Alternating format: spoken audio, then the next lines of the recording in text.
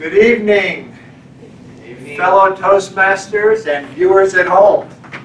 My name is Rick Starr. I'm the president of the Golden Speakers Toastmasters Club, and I'd like to welcome you to our weekly Tuesday evening meeting. We meet here every Tuesday night at the Hy-Vee Meeting Room on West Burlington, right at the end of the ice cream aisle. Although it's a little cold for ice cream, it's never too cold for Toastmasters. So we come here to get warm and to enjoy, enjoy our program. If you'd like to come down and visit us, you're more than welcome to come. No obligation and see what Toastmasters is about. One thing, if you have a cell phone, please turn it off. Don't put it in, don't put it in low, don't set it to buzz. Turn it off. Thank you very much. In case you're wondering, the mission of this club is to provide a safe and supportive environment where we can develop our communication skills and our leadership skills in order to foster greater self-confidence and personal development. We have three speeches tonight. Because we have three speeches, we won't have any table topics. And now I'd like to introduce the Toastmaster for this evening. The Toastmaster is kind of the master of ceremonies, keeps the movie, the meeting moving along. Mr. Emery Styron. Thank you. Praise the And for that warm applause on a cold members, viewers at home. As Rick said, my job is to keep the meeting moving, and I'll do just that by calling on our role players to introduce themselves and describe their roles. Our timer tonight is Mr. Will Burns.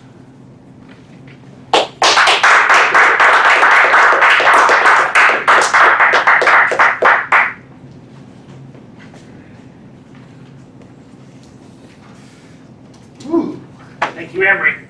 But a slight change here since I'm also behind the camera tonight. I will just stand up here and explain my role. My role as the, as the timer is to keep track of the time. I have a stopwatch. I have this nice remote for these lights that are to the rear. They will illuminate green, amber, and red at the appropriate times. For evaluations, you will get a green light at two minutes, the amber at 2.30, and the red at 3 minutes. For speeches, there's a uh, variety of times. I'll just go off the cuff here. Generally, most speeches are 6 to 8 minutes, 6 at green, 7 at amber, 8 at red. We do have a longer speech tonight, which... 8 to 10. Your speech 8 to 10? I believe, hold on. Uh, I believe it is. Oh, I'm sorry, no, it's 10. 10 8, 9, 10. So will be eight, nine, 10. Finally, that will be Ten to fourteen. Prime is. 10 to 14. So he'll get 10 green, 12 amber, 14 red. Yeah, that's right.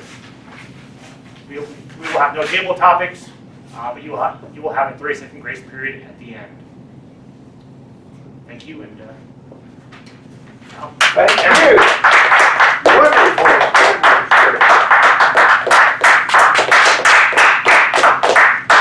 Our grammarian tonight, Mr. Rick Starr. Thank you, Mr. Toastmaster. The meeting's theme tonight is Charging Forward to Greatness, a quote by William Shakespeare. Some may have heard of him. Be not afraid of greatness. Some are born great, some achieve greatness, and others have greatness thrust upon them. My role as a grammarian consists of three things to make note of any good use of the language, make use of any use of the language that could be improved, and also to keep track of the word of the day. The word of the day is success, living life according to your goals. At the end of the meeting, I will give my grammarian's report. Thank you. Thank you. If the list of role players feels a little short, it's because it is. We're dispensing with the awe counter tonight. So you get a free pass. Uh, aw, hesitate all you want. Just say it, say as many as you want. Yeah, nobody's keeping track. Or we should say it's the honor system. Be on your best behavior. This is big broadcast. Thousands. Right. uh, It would be my pleasure to substitute as the joke master, which I don't also see. Okay, well, we- I'm equipped. you're equipped. Okay, appreciate the volunteer. Ready with the joke, this is good. Yeah, where does that go in the schedule, Mr. Joke Master? Uh, it goes You're after the grammarian, After the grammarian. at the, at the end.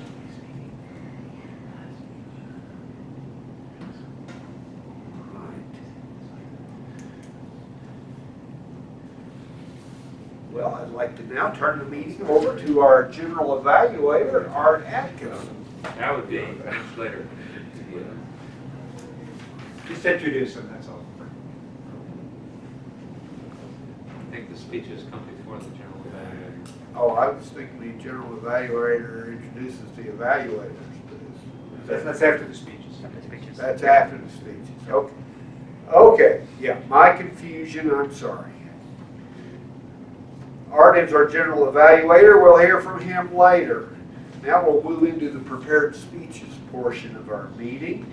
Uh, I'd like to call up Rick Starr, our first evaluator, to read the objectives for our first speaker. Uh, I'll move it Santoria.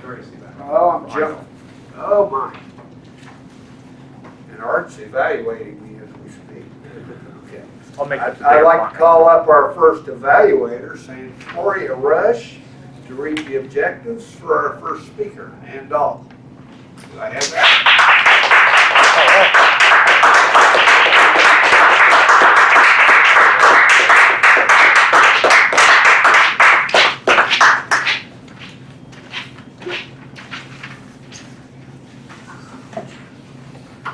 Good evening, fellow Toastmasters and, and viewers at home. Tonight, Ann Dahl will be doing her 10th and final speech in the Competent Communicator Manual. The title for her speech is Credit Card, a Saver, or Spender Tool. Uh, sorry. I'm not sure where I read. Is this part the, um, The, the objectives on the first page. Right. Tell us about her At the beginning, yeah. It's like a blue box. Okay. The objectives of Project 10 is to inspire the audience by appealing to noble motives and challenging the audience to achieve a higher level of beliefs or achievement. Appeal to the audience's need, needs and emotions using stories, anecdotes, and quotes to add drama, and to avoid using notes.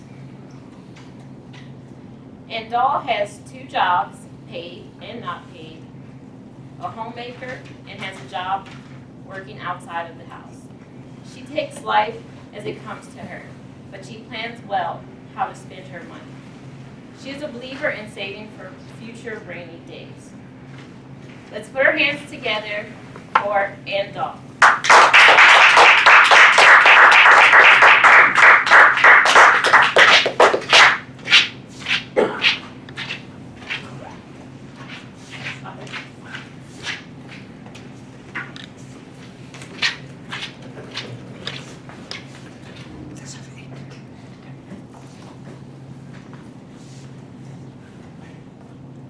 Good evening, Toastmasters and viewers at home.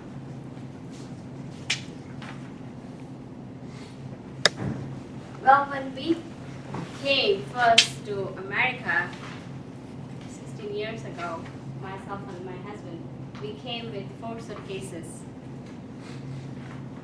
In past 16 years, we have moved thrice and I have realized each time we move from one place to another place, we have accumulated so much stuff that most of them, of course, are needs and some are wants. Just buy it just for the sake of buying it.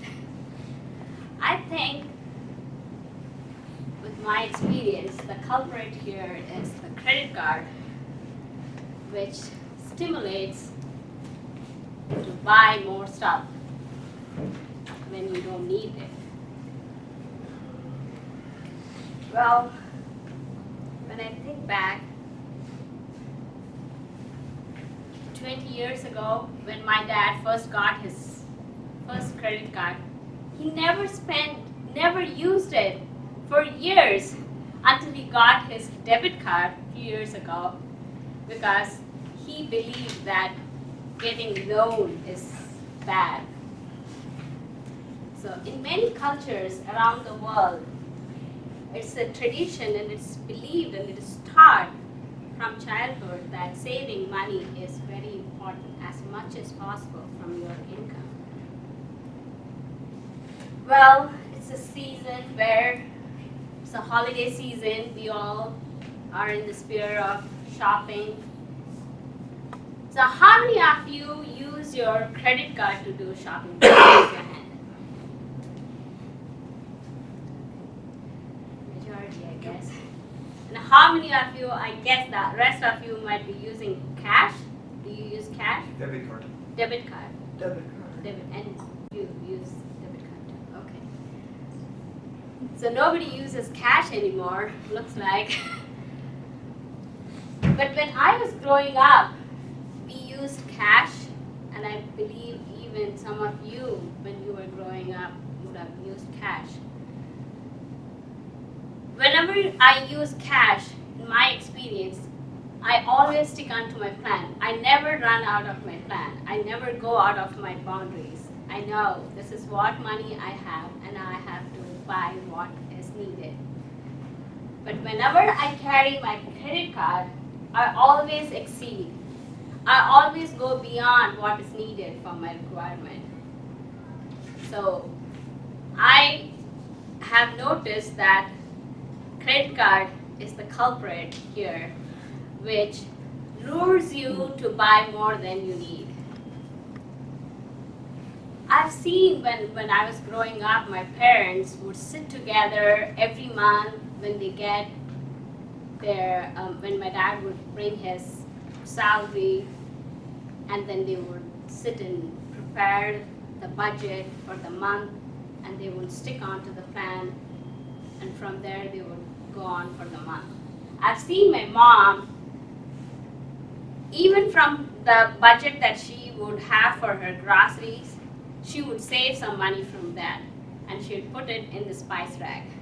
And every time when my dad would need some emergency expenses, she would always give him. So my dad would funnily would say, even if the World Bank would go bankrupt, your mom will always have money. so she always saved. We, we always save money from our regular income. When I think back, few it was it feels like just a few years ago when my child, my daughter was in pre-kindergarten. She said, "Why is Dad going to work every day? Why does he have to go to work? We get food, we get milk from all our groceries, from Hy-Vee and Walmart and everybody's. Why does he have to go to work? He spends so much time being at work." So I, it's like it's in in this country we have to teach kids. Milk comes from cow, not from grocery store. I, I remember when I was working at a co-op um, uh, pre-kindergarten, preschool as a parent volunteering there, and we took the kids to a park where they there was a cow, a statue of a cow showing that the milk would come from the cow, and they could milk it, and the water would come out, and there was a bucket.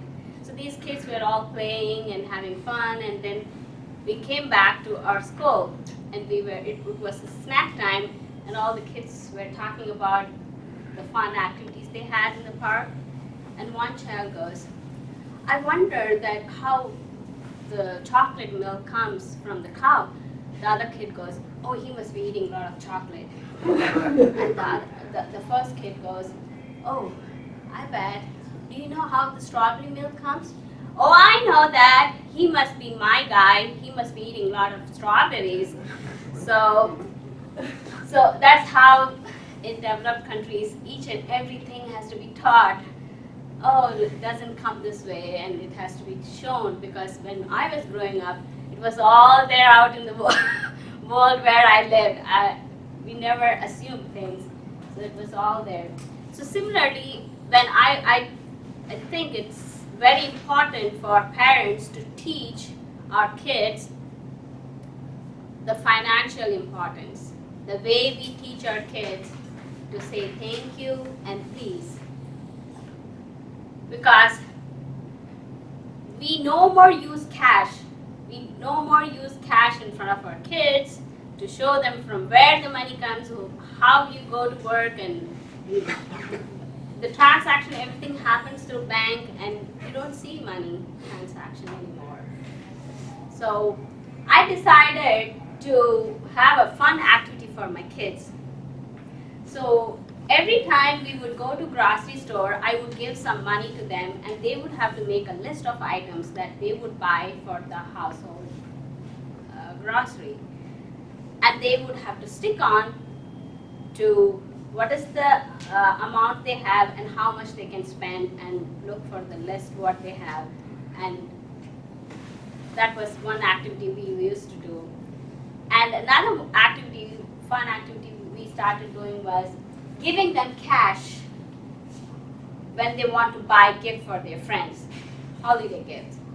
So my daughter, very very smart, she she she would stick on to the budget. She would in fact buy less than the budget allotted to her. Be more creative. She'll come up with plans. Okay, I can do this. I can make stuff with my creativity, and then she would save some money out of the budget.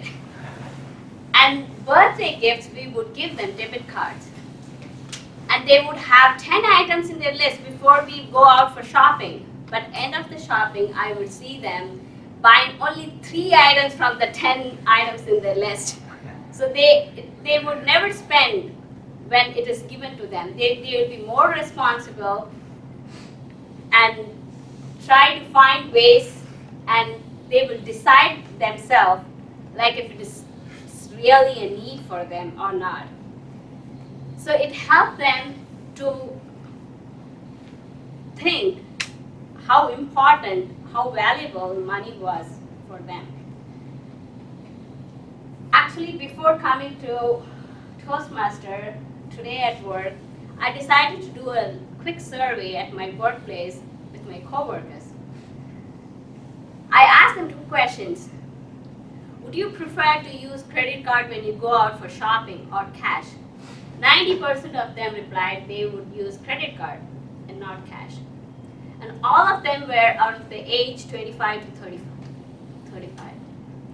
And the 10% who replied would use debit card like you guys on this side were between the age of 55 and 65. And the next question was, how many of you save money from your regular income?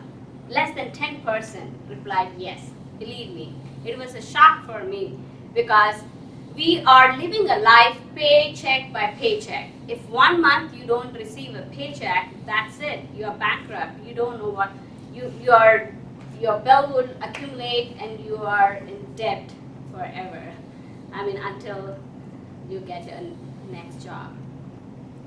So it's very important and, and, and the reason why, why, and I asked the reason why they would use credit card.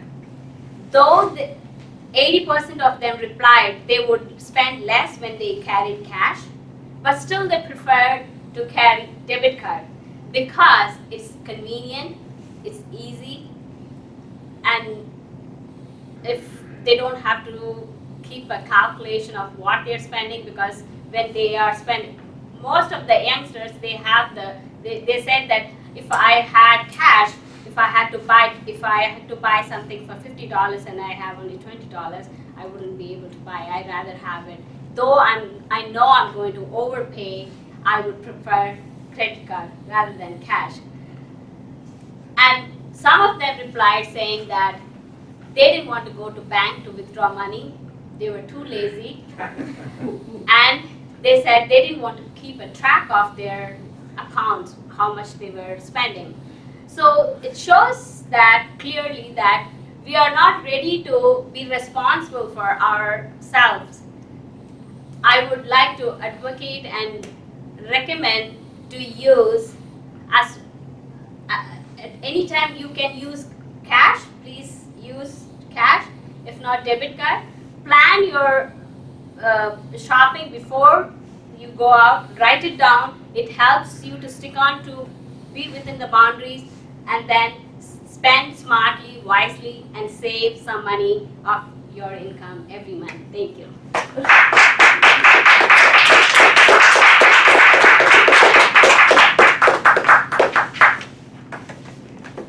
Thank you.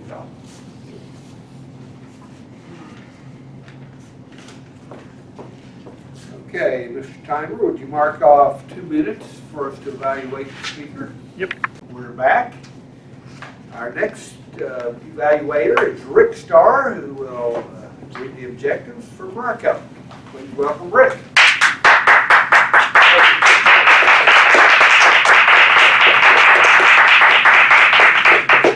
Mr. Toastmaster, fellow Golden speakers, and viewers at home, let me introduce Marco. Marco Janik was born in Belgrade. 1990, he finished high school. After that, he finished Forestry University. He moved to the USA with his family in 2012, went back to Serbia to finish college. After that, he worked in a casino for a year where he says he saw the other side of the coin. A year ago, he decided to further his education, find out about MUM, and decided to come and visit and came back for school in August. Now he works as the director of the MUM Recreation Center while studying MBA, and studying for his MBA full-time. He's passionate about growth and living life to the fullest potential, exploring martial arts, education, helping people, and public speaking. Marco is giving Project 3 from the Competent Computer Communicator Manual. The objectives are to select a speech topic and determine its general and specific purposes, to organize the speech in a manner that best achieves these purposes, ensure the beginning, body, and conclusion reinforce these purposes, project sincerity and conviction, and control any nervousness you might find, you might feel, and strive not to use notes. Title of Marcos' speech is Real Friendship Will Take You Further Than You Can Reach Alone. It's five to seven minutes. Please join me in welcoming Marco.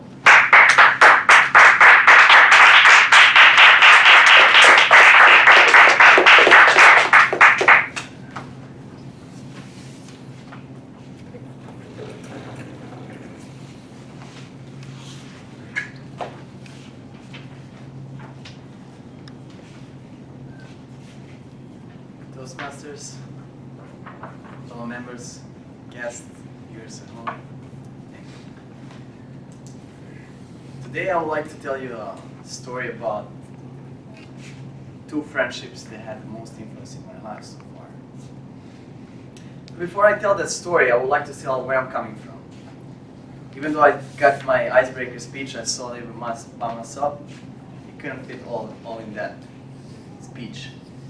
Uh, my country, Serbia, compared to United States, is really, um, how can can I explain? Is one one-sided. We we don't over there until a couple years ago. I never saw African American people in Serbia or any other nation. It was it's all white people and all have the same religion, all have the same way of thinking, and all it's kind of conservative. I could say where I, I, I was able to come here and see this. Especially my family. My parents, they got to know each other when they were when they were really small, I think seven, eight years old.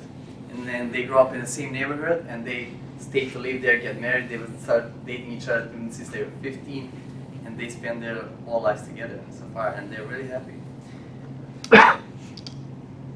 One way, it was a great, great, great experience living all of that. But on the other side, it was a little bit challenging because they had a certain way of thinking, and nothing outside of the box wasn't right. Some new things, to try some new things, to experience something new, to learn something new, it wasn't right because they had their own world, their own thinking, and they were thinking that's the only way to go. To shorten that, this is a story about my friend from Russia and my friend from Serbia, Maya, and Limon. Limon is originally from Russia. He's three years old, older than me. And it was 2009, summer 2009, we were on a vacation. I was on vacation with my family. And I went out by myself on the top of the hill to work out, but I knew they had the pool and bars and there was a lot of strong guys coming to work out. And then at one moment, you will see some guy with the crazy hair, without a shirt, all muscles and all shorts ripped off. And you can see all the tattoos in him really looking crazy. Who is this guy? And he coming, he coming to the place where we all working out and talking.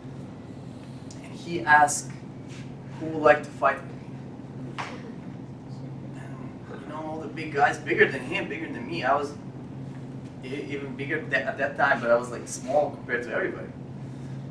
And he asked who would like to fight with me, would like to spar with me, like sparring.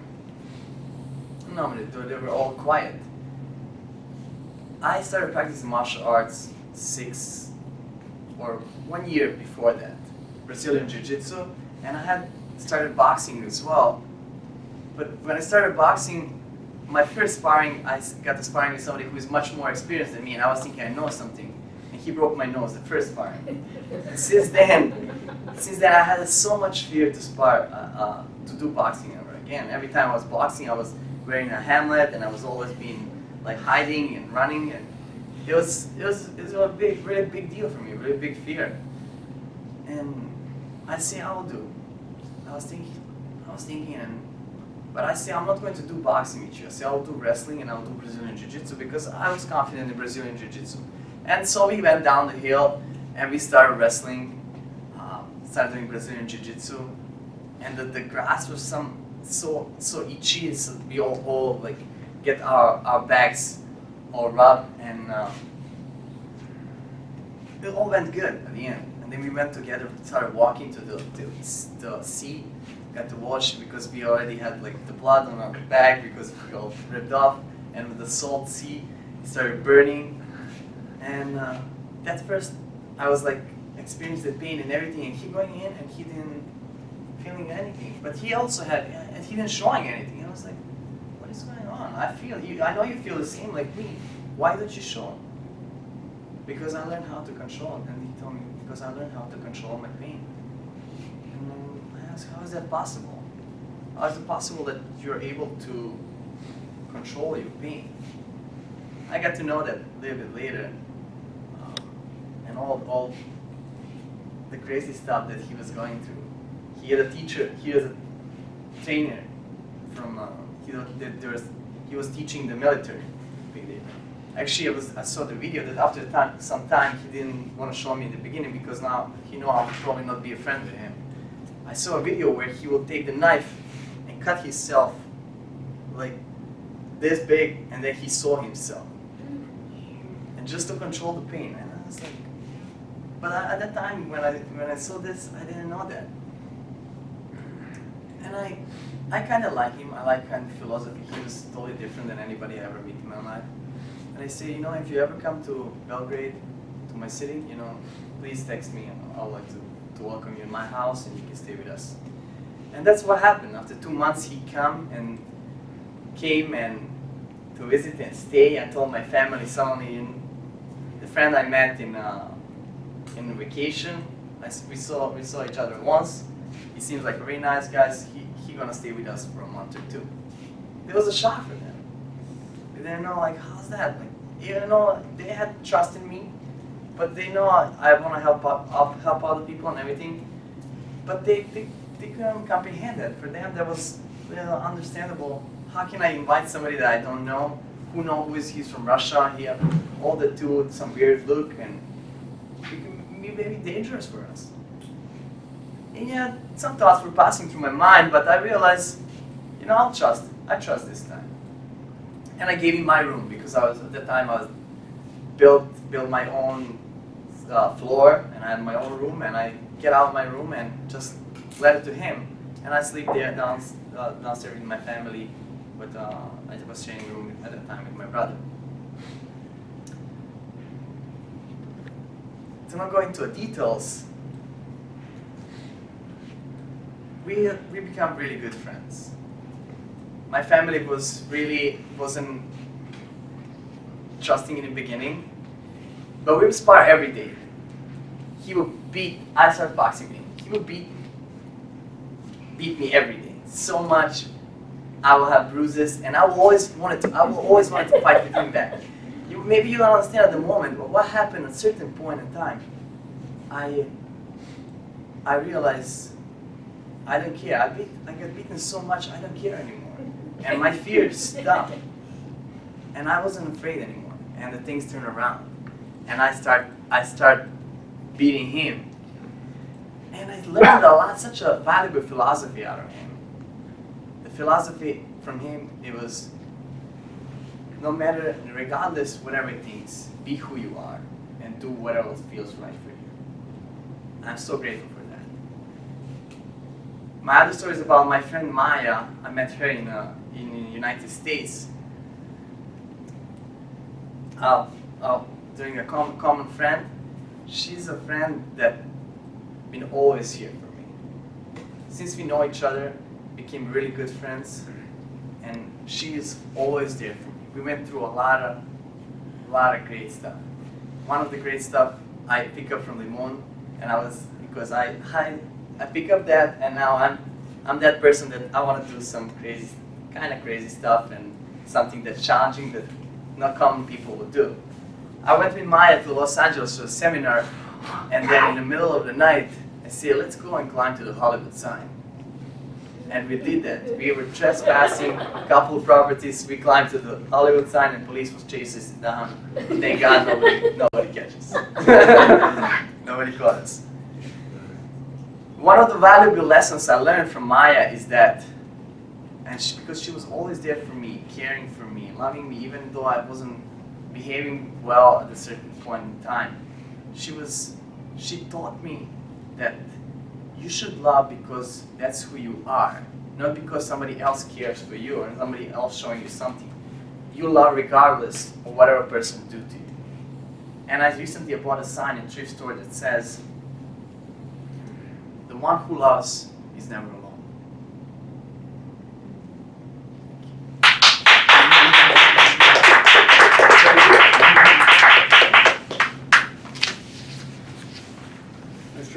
alone." Would you mark off two minutes while we evaluate the speaker? All right.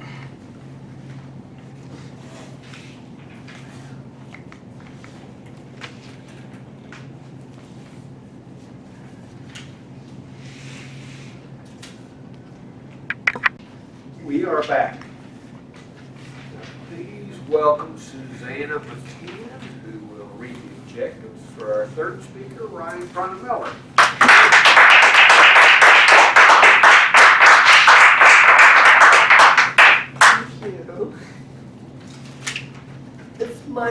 To introduce Prana. Prana is one of our more advanced members, and he's doing projects now from the Advanced Communication Series Persuasive Speaking. And the project that he's working on this evening is called Conquering the Cold Call. Um, Prana is a sustainable living major at MUM, and he's been living in Fairfield for eight years.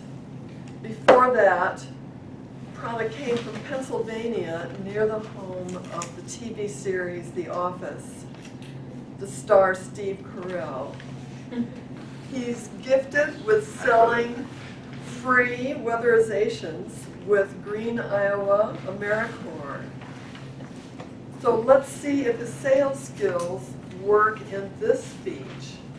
The objectives for tonight are to learn techniques of cold call selling, especially expensive products or services.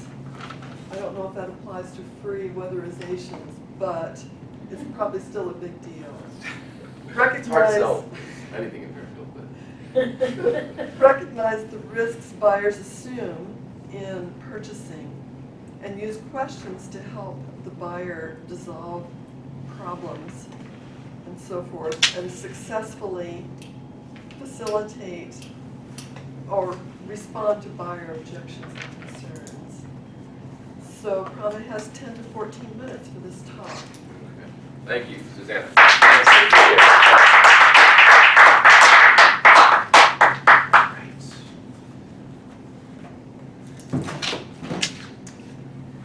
Have you ever heard of what is commonly referred to as a cold call? It's not a uh, situation when you're in the middle of the road and someone, you call someone for help because you're, it's cold outside and you need a ride. It's, it's also not a situation while you are sick and you're at the pharmacy and you need uh, something for your cold. A cold call is a sales tactic for reaching out to friends, family, or strangers to sell a product or service that you may or may not need. A good example of cold call is when someone calls you or goes to your door and says, you know, I've got a vacuum cleaner and you have no need for it. It's just it's a waste of your time. But but they try to convince you and and they'll do anything they can to, to convince you. But um, so so an example of a situation uh, of a product or service a Mayo essential oils, which is a you remember Deward Straub? Some of you, he was here. He was a big fan of a Mayo. Shout out to Deward if you're listening. Um, it's a it's a company that sells essential oils, and basically what what it is is you pay $350 and then you get a full batch of like 15 or 20 essential oils and a diffuser, and then you have a monthly commitment, um, and let's say $150 every month. But those above you get a percentage of your payment, and those below you pay you for your service or for your uh, for their commitment. So cold calling is uh, common with multi-level marketing because you, you have to talk to everybody you know, your your relatives, your people at the cafe, you know, just you want to make money, so you got to talk to everybody. So that's a good example of cold calling. On the other side of the perspective, a salesman like Verizon Wireless. You walk into the store and they say, you know, everyone here uses cell phones, right? Everyone with a cell phone. Say, like, Will, how often? Just to, just as an example, how often do you use your cell phone? Uh, a better question would be how long throughout the day do I use How my cell phone? How many hours in a day do you use your cell phone? Ah.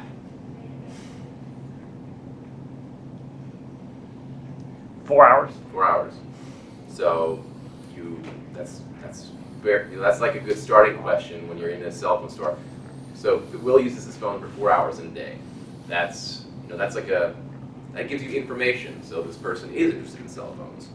Um, then you get you get deeper into questions like what's your budget like and what's your you know are you a smartphone? Are you an Android? Are you a you know an iOS user? You got to learn about the customer. So salesmanship is about being a resource to the customer, not just a, you're not just trying to get their money, you want to be a resource to them. So to be a resource, you have to, you gotta, you know, you gotta know your product. Like if you've got a, a laptop, then you have to know all the competitors' products, you have to know your product, and you have to know, be passionate about what you're doing. So if I'm just selling laptops and I don't know know, the difference between a processor and a motherboard, you know, it's probably a bad, bad thing because I need to know about the product. So compet- competitors and, and details are key. Uh, Also, you have to know your, uh, you have to be a support, so you have to learn about the customer.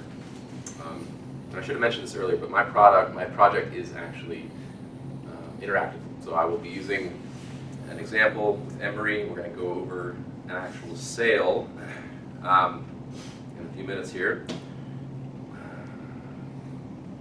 So I'm going to try to sell them something. And it's an expensive item. So this last speech I gave, I had to sell a printer, and I actually wasn't successful. But uh, I think that was like a month ago. So hopefully, this this speech I can I can persuade Emery to buy something. And I think let's just get into it. Let's go into it. Let me take a seat. Um, actually, it's a good idea. How about you stay where you are, Okay. and I'll just I'll just stand here and we'll we'll, we'll go. I'll, I'll, I'll sit here. I'll stand here. I don't care what you. Okay. So, Emery, uh, I don't know you very well. I mean, I've known you for like a year, but I don't know your, your lifestyle choices. Um, what what type of uh, do you do you have a retirement? Do you are you interested in saving money? Do you know this is the Okay, let's. time of week that I set aside to watch Longmire on Netflix? Okay, so You're- let's- you're I'm knocking on your door. I'm You're on your door. interrupting my routine, sir. Okay, let's. Um, is there a better time I can? Speak? Anytime he's not watching. Well, let's just make it quick. Okay, we'll make it quick. I won't take much of your time. So I work for SolarCity. We sell solar panels. Actually, we lease solar panels, and uh, as opposed to having to put a down payment down, we have we have the uh, the product which you can rent a solar panel to reduce your actual power um, bill. How does that sound to you? Do you like saving money? Do you want? Can I interest you in saving money? You're not. You're not what, what, what is this? So your power bill. Solar panel. how much? How much do you pay? Is that, is that like the little landscape lights? Yeah, it's like a little landscape light, but it's a little bigger. It's like a miniature landscape light. There's there's a solar panel works like this. It's a it's a two cells uh, made of silicon, and every time a photon hits the silicon, it shakes an electron loose, and then it it it goes and circulates around the silicon and creates a, a direct voltage current. Do you know anything about physics?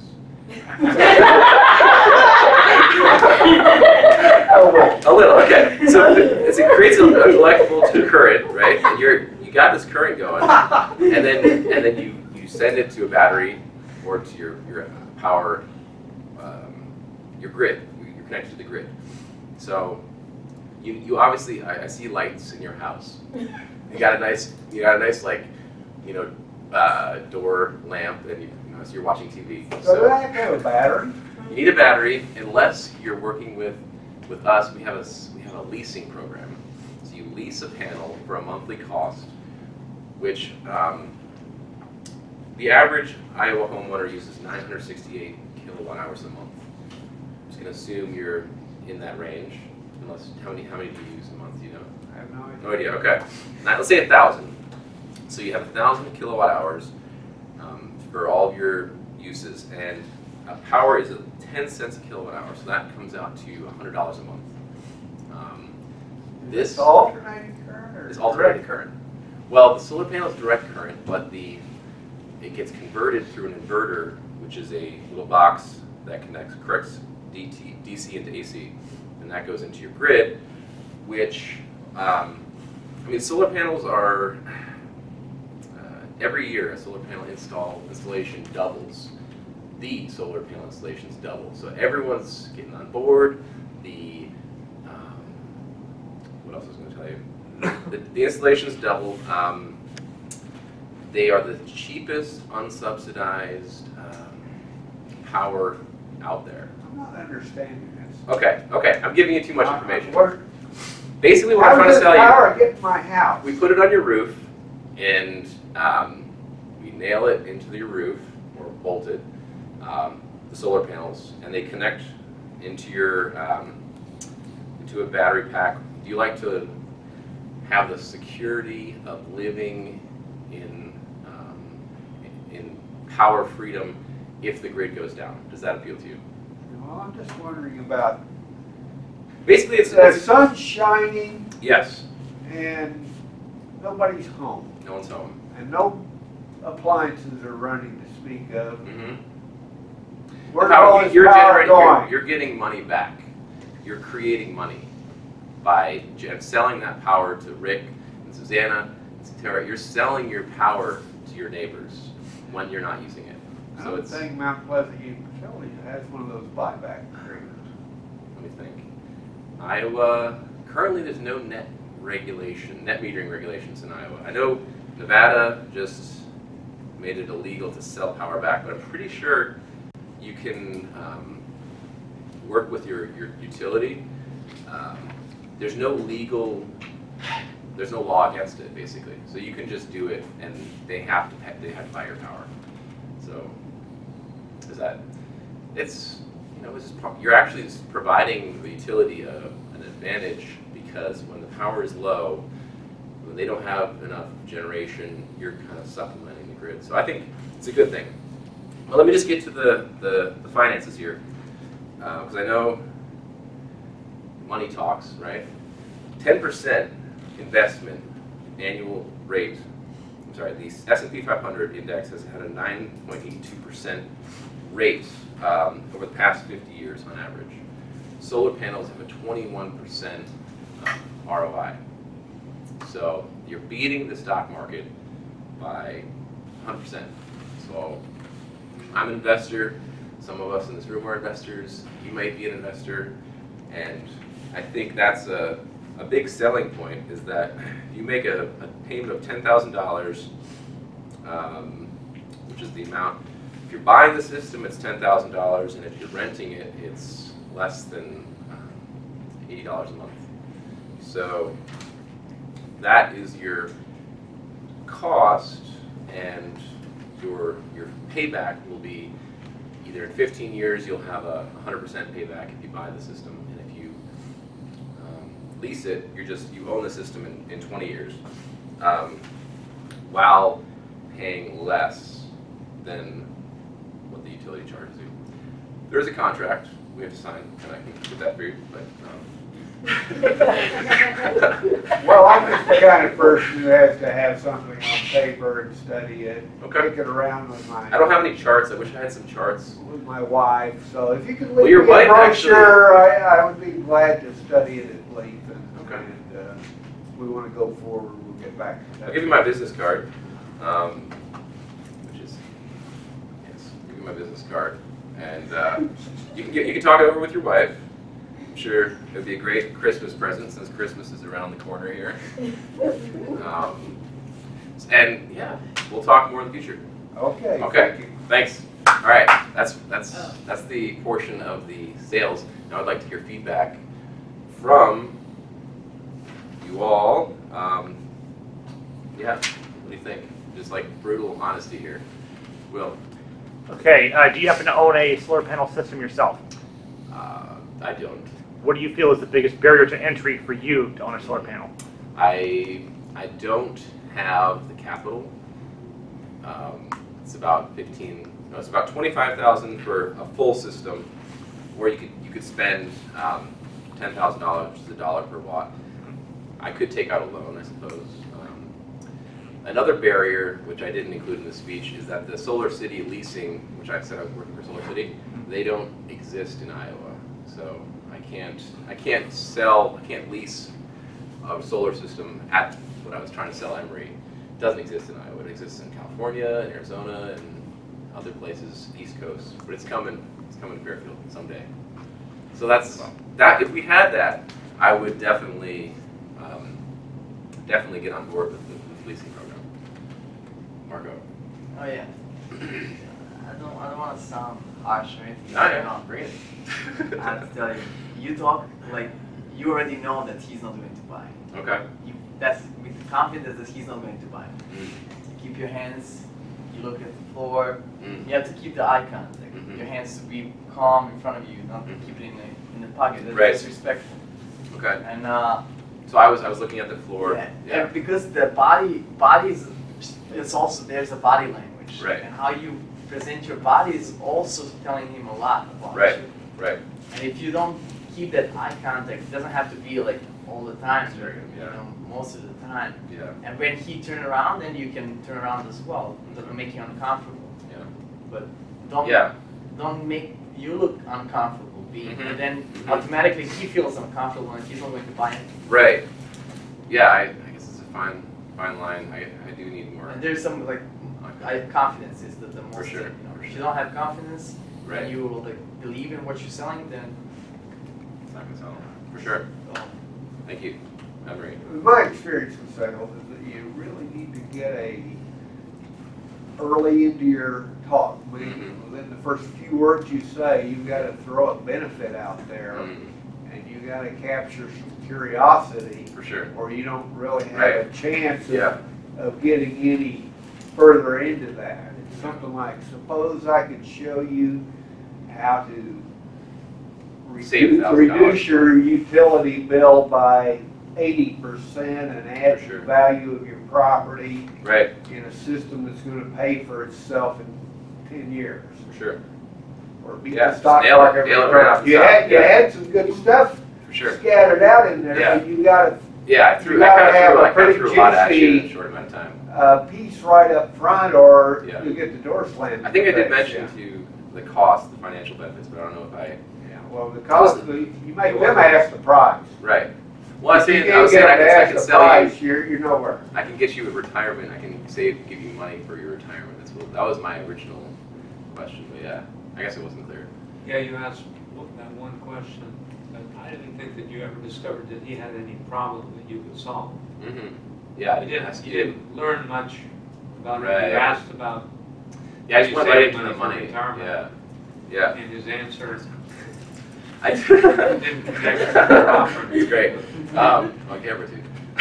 Um, no, basically, uh, with the, I did, solar panels, I mean, the main advantage is money and climate. That's it. That's all I can really sell you. You know, you're saving the planet and you're, you're cutting your, your expenses. That's like, Well, if you can show the prospect that you're actually interested in him or her, yeah. and you're asking. Yeah, no, I am, You're asking genuine questions. Yeah, I wanted I to- think you were kind of nervous and you were yeah, I was kind of. throwing a whole lot of information sure. out there all over the place, Yeah. hoping something would stick to the For wall, sure. but Yeah. weren't really finding out about my situation. Yeah, all right. Thanks, guys. That's it. Yep. Thank you, thank you, thank you.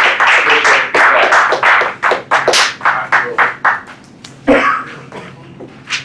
Okay, no confusion on roll.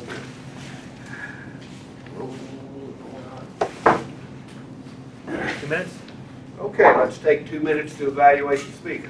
Okay, we're back. Uh, Just a note, uh, it's always a good idea to write your name on your evaluations. I think the people who receive them appreciate knowing where they're coming from. Mr. Timer, can you tell us which speakers qualify? Well, um, for better or for worse, they're all in the same boat. No speaker qualified tonight. No speaker qualified. Okay. Yay! No voting. So See this time. We can dispense with the voting voting. in that case. But thank you, speakers, we enjoyed your, your speeches all the same. Well, that brings us to the evaluation section of the meeting, and I'd like to invite up our general evaluator, Art Atkinson, to conduct that portion.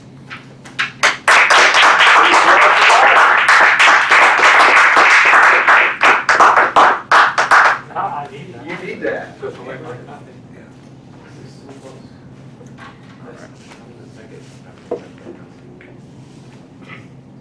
Okay, first I'd like to invite Santoria Rush, Andal's evaluator, come forward. and give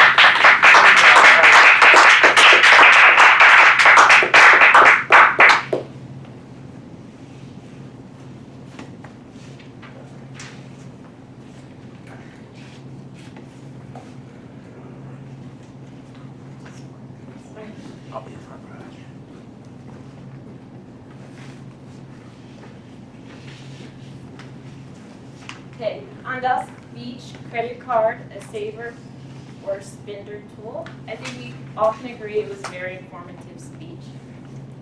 She did this for her Inspire the Audience speech, speech 10. So I would like to applaud for uh, Andal finishing the competent com- communicator.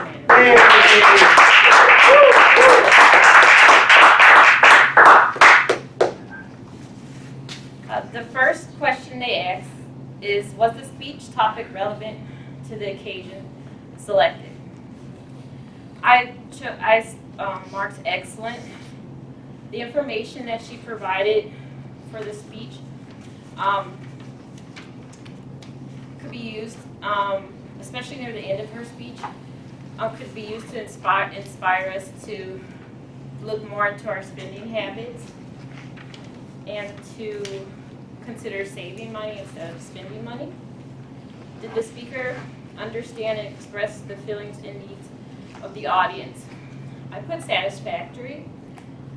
I personally feel that you didn't take all the opportunities that you could have to really turn the speech from informative. I felt maybe you were a little bit too informative instead of inspiring, but I could see all the building blocks were there to turn it into an inspiring speech.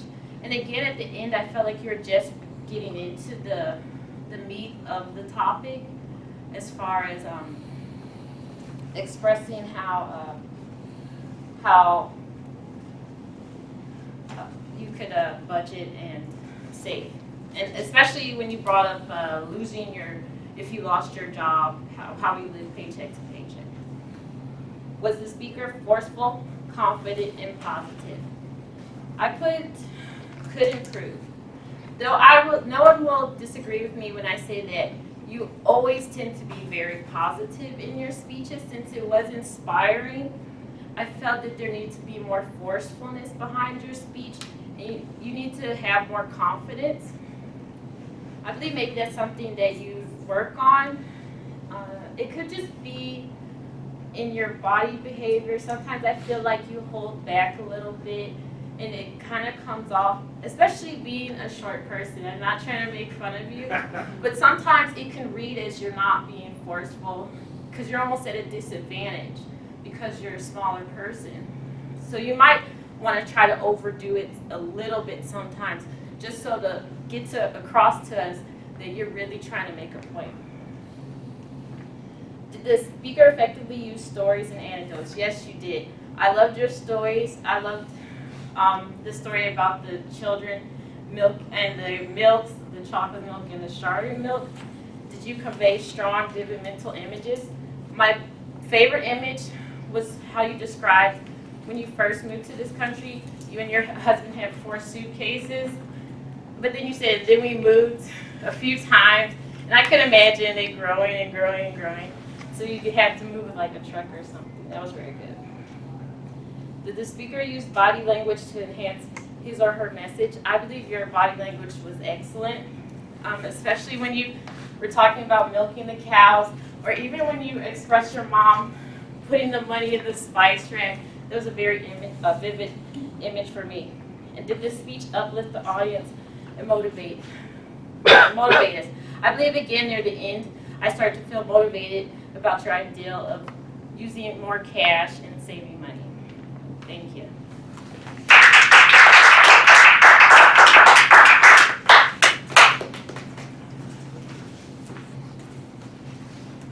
All right.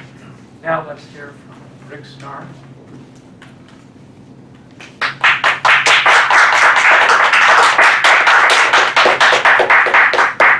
Thank you, Mr. General Evaluator, fellow Golden speakers, viewers at home, especially our speaker. I love listening to your speeches. You're an excellent storyteller. You tell personal stories, heartfelt, and they always reveal something about you. So it's a great pleasure listening to your, to your stories. This project was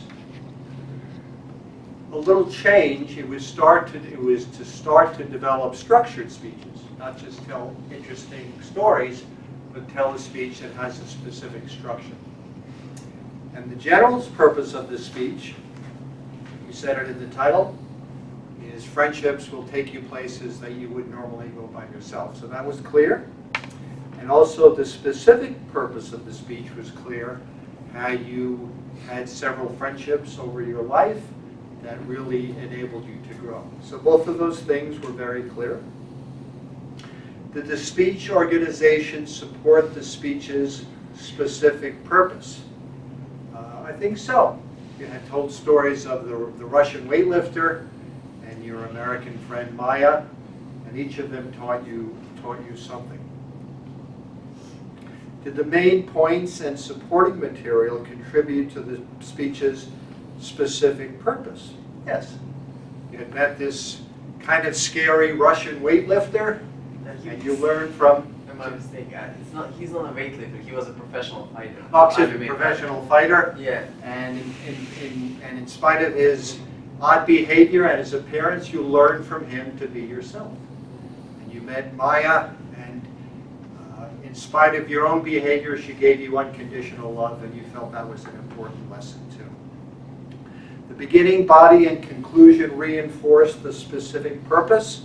I'd say you got two of those right. You got the beginning, which was the introduction of the general and specific purpose, and the body, which was stories about these two people. I felt you didn't have a strong enough conclusion. Your conclusion was kind of one sentence, and it didn't really wrap up the, uh, the speech. Did you achieve the specific purpose? Yes, except for the conclusion. Did you appear confident and sincere with minimal nervousness?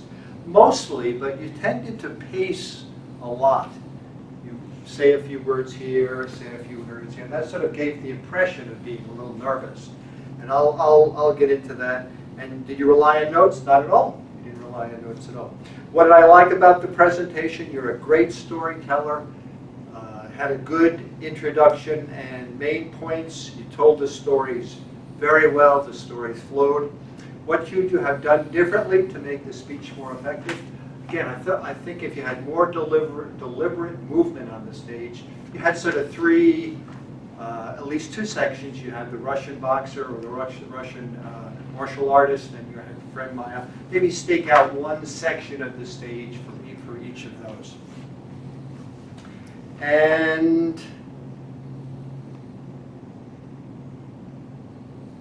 uh, uh, more, and, and you could have used a better intro to wrap up. But again, very enjoyable. Thank you very much.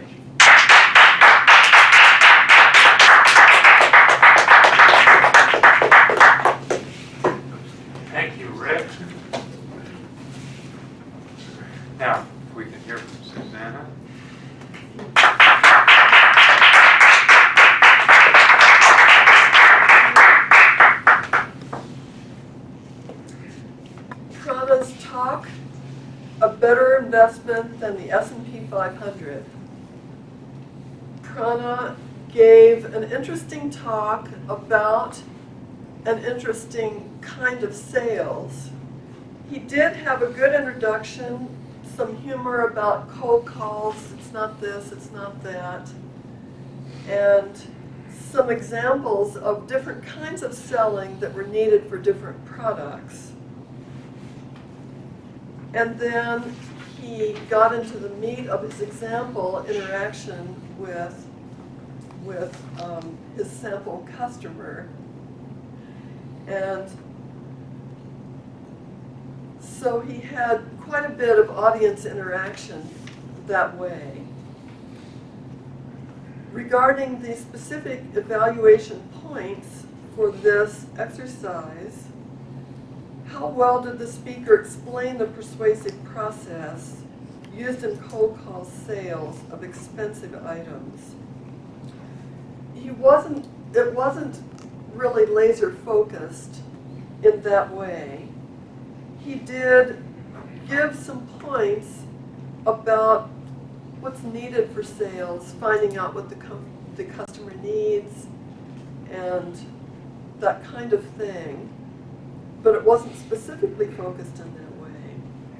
How effective were the speaker's questions in eliciting information from the buyer? Prana did have some good questions for the buyer, and is also a good question for Will before he got into the meat of his main interaction. I would advise that Prana, in asking the question of the buyer, really track what the buyer was saying and, and sort of respond to that rather than sort of throwing something out and then, regardless of what the buyer says, saying something else. But if, if you tracked and interacted more closely and really listened to his answers and his needs, he was sort of saying, well, I don't understand this, and there wasn't a real synchrony going on there. how effective were the speaker's questions in helping the buyer discover that a problem exists. There was an implication that the, the buyer could maybe do better on his bills, his utility bills, but it wasn't really clearly brought out. Did the speaker avoid talking about the product until the buyer asked, asked about it? Um, there wasn't a very clear delineation there either. How well did the speaker handle any objections or concern the buyer raised? I think he was wondering about what could the speaker have said that would have been more effective? Points could have been laid out a little more clearly and coherently. What did the speaker do well? He was obviously enthusiastic and knowledgeable about the topic, and the topic itself was interesting and timely.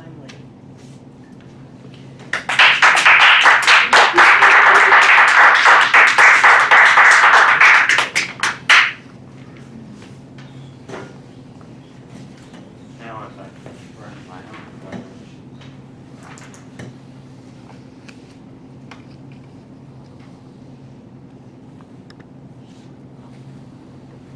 Mr. Timer, may we know which of the evaluators qualified on time?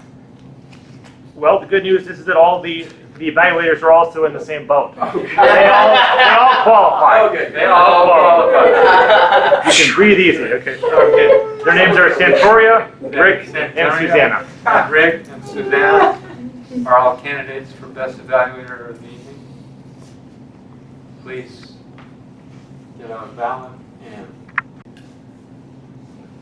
we're back.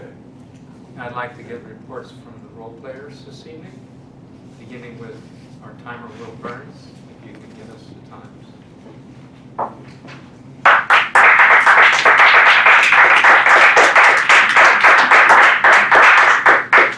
Art, this is a one-minute report, so I'll try to see if I can keep up to that. Um, For speeches, Andal was 11:05, Marco was 9:29, Ryan Connemiller was 16:08. For our speech evaluators, Santoria was 3:28, Rick was 3:22, and Susanna was 3:30. That's my report.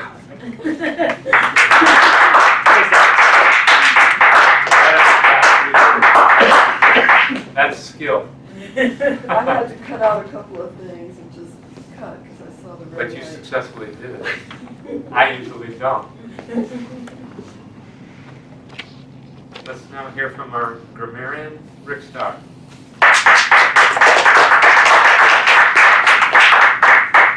Thank you, Mr. General Evaluator, fellow Golden speakers, viewers at home. I noticed a couple of very interesting uses of the language. Andal, when talking about credit cards, and she said the culprit is the credit card. Credit cards lure you to buy more than you need. I'm glad it's not our fault. Marcos, uh, when you talked about your Russian uh, uh, martial artist, you said he, he cut a big gash in his leg and sewed himself up to control this pain. That, that's vivid imagery, believe me. and prana, prana cold call is not going to the pharmacist when you're sick. and I, I may have missed it. I didn't notice any use of the word success. Was there? We were unsuccessful. so we'll have to redo the meeting in order to say that. Thank you.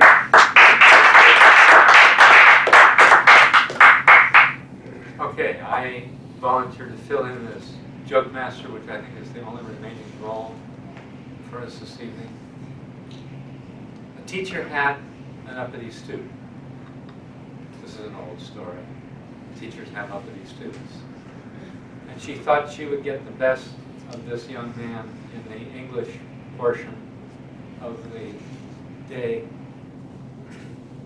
by stumping him with a sentence problem.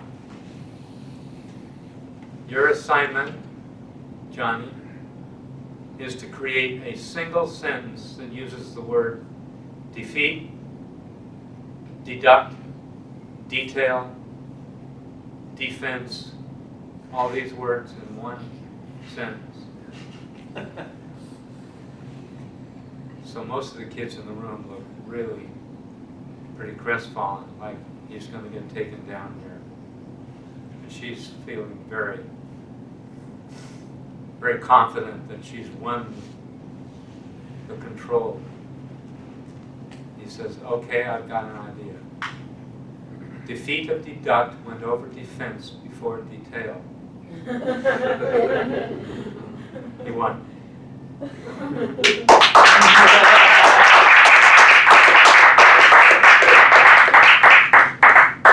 He was thinking outside of the box.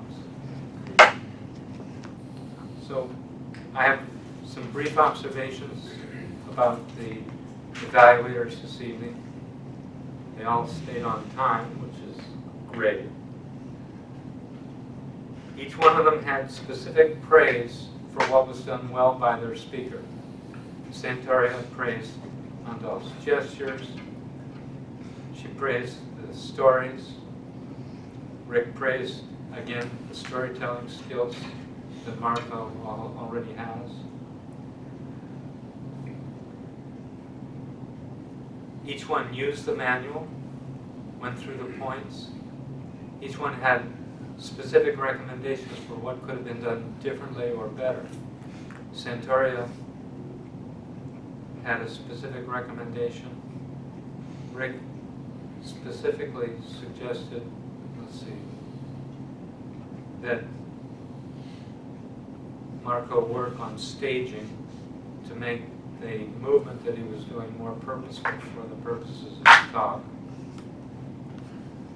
And he pointed out that the talk had a weak conclusion and that that three-part structure is important.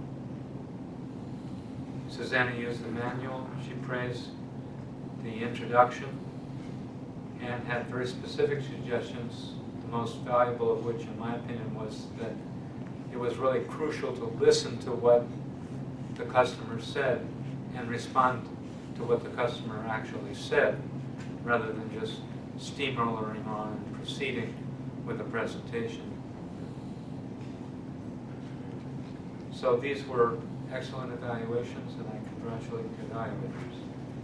Now I would like to return control of the lectern to our Toastmaster, Emery.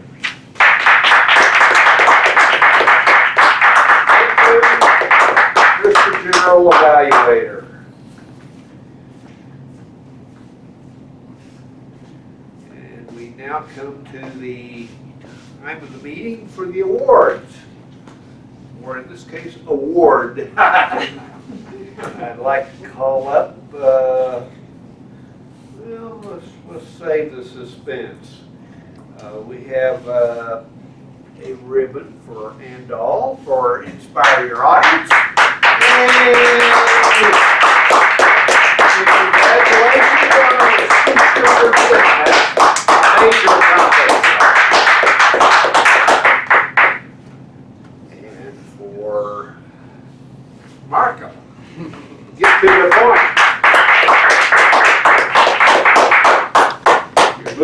Along very swiftly. Good job. And I don't have a ribbon for, Best evaluator. no, I do have a ribbon for best evaluator, but I I don't do have one for your particular I don't project. get ribbons. Yep. You don't get a ribbon? Yeah, he's an advanced manual. Oh, okay. Well, let's give him a hearty round of applause. That was a long and complex project when I uh, read over it before the meeting. uh, I was just amazed how big it was, yeah. So, uh, Years. And uh, again, a reminder on these advanced manual projects, uh, it's a really good idea to scan those projects and send them, email them to the people involved so they'll know what's there because uh, there are many advanced manuals and we don't have access to all of, all of that. Okay, and the moment you've all been waiting for, our best evaluator, a drum roll please. Rick Starr! Job, Rick.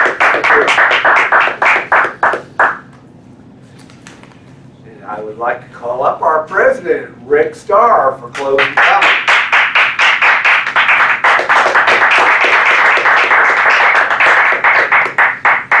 Thank you very much.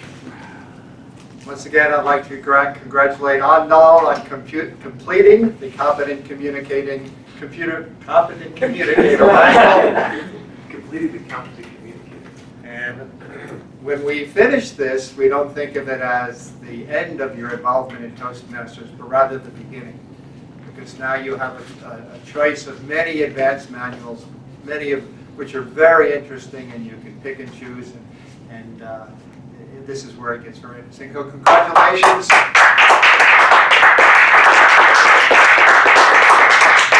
Congratulations to all our speakers. And uh,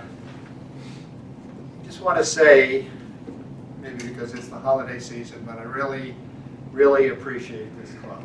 Really appreciate all the individual members and your dedication, your devotion to learning better communication skills, your warmth, your friendliness, your support. And I just want to say thank you for being part of this club, and I really enjoyed it.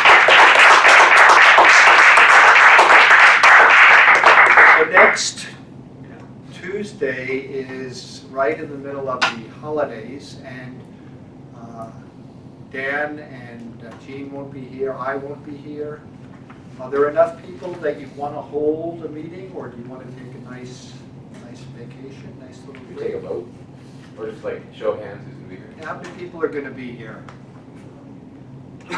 I can be here, but I don't have to be in town. Or Four people, you think that's enough to, probably not. Okay, so uh, I propose that we don't have a meeting next week. Anyone second that motion?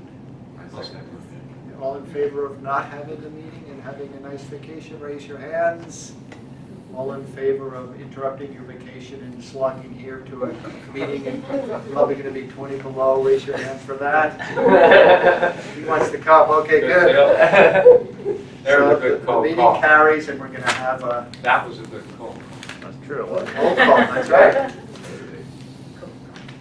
So again, thank you all very much, and also, oh, one more thing, next week, uh, I mean, two weeks is the second or third, and that, that Saturday, the seventh, is officer training. We'll talk about it more at that meeting, but it's in Cedar Rapids, it's in the morning, probably be done by twelve-thirty or so, and then we can arrange rides, so we can share, share rides uh, going up there. So how many people feel at this point they can be there on the, on the 7th? January seventh, Yeah, January 7th. let me check the schedule. Okay. So uh, I'm, I can go. Emery can, I can, okay, I, I can go. So we have to have four officers go, go to qualify for the Distinguished Club, Club program. So let's see if other people could go. But I'm actually, I hold two officer positions. I'm the sergeant at arms and the president. Like double. I get double the salary. Double the salary.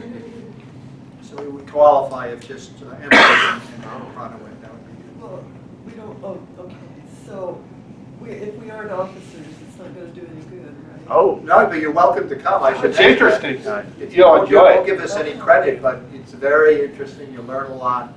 Yeah, there's, Anybody, there's workshops. anybody who wants to come is more than welcome. I'll just mention here real quick that generally you'll have three workshops and it'll be on different things. Some of them relate to a particular officer role, others are more general about organizing club contests or about public relations or, you know, or, or even being involved in, in competitions and, you know, you know, how to give better speeches.